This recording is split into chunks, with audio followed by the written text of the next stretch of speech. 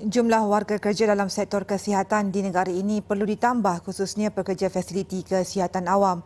Menurut Menteri Kesihatan Datuk Seri Dr. Zulkifli Ahmad, ini bagi menjamin kelancaran operasi semua jabatan di bawah Kementerian Kesihatan Malaysia. Tambah beliau, penambahan tersebut sangat diperlukan ketika ini membabitkan doktor, jururawat sehinggalah ke peringkat pemandu. Pihaknya kini sedang merancang untuk melaksanakan penambahan jawatan tersebut menerusi peruntukan yang diberikan. Dr. Zulkifli berkata ketika ini KKM mempunyai kira-kira 280,000 orang kaki tangan.